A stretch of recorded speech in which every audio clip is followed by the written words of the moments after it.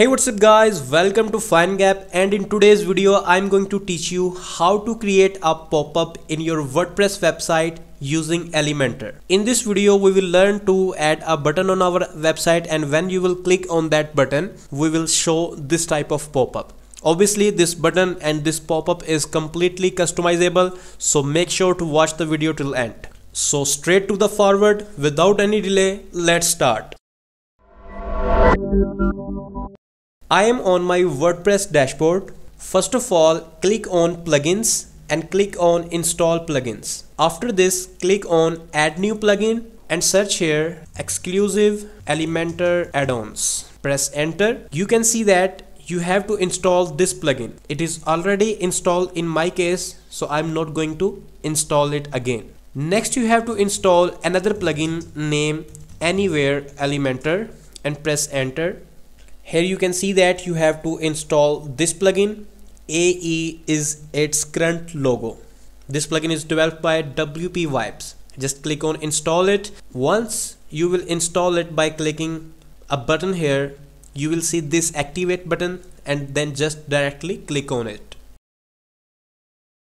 So you can see that anywhere Elementor is activated. Now I will also activate the exclusive add-ons Elementor so this plugin is also installed successfully. Next click on pages and click on add new page.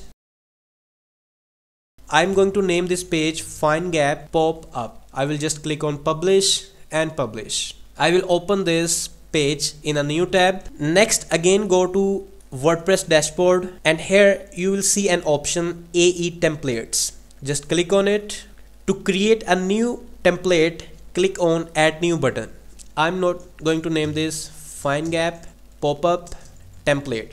This template is for that's how your pop-up will look like. I will click on edit with Elementor. Next we need to design a pop-up. So I will click on this icon. Here you can see that there are many available templates.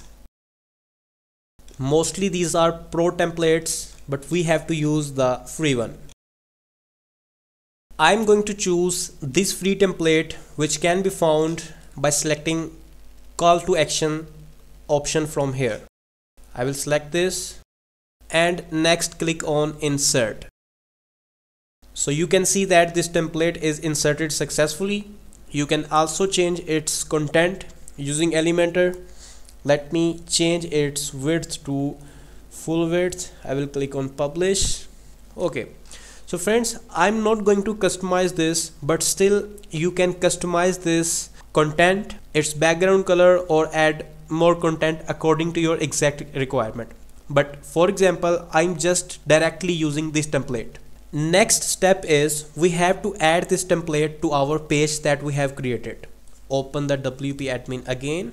We need to publish this before leaving this page. Open the wordpress dashboard again click on AE templates. And this time you can see that we have another template available here.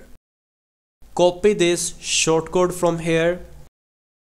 Click on pages. Or you can directly open this page from here. I will click on edit with Elementor. So here is page available that we can edit with Elementor. I will search here a modal pop-up. I will directly drag and drop that here okay we can design this. We can control its width and height. From here type of modal I will select shortcode and paste the shortcode that we have copied earlier. Now click on update and let me click on preview changes. Scroll down. Currently you can see that we have this big button. Obviously you can customize this. And when I click on it friends you can see that a pop-up is appearing in front of our site. So friends i hope that this video will be helpful for you. If you have any question you can ask us in the comment section. We will try to answer your question. And please subscribe to our youtube channel for our regular videos. And finally thanks for watching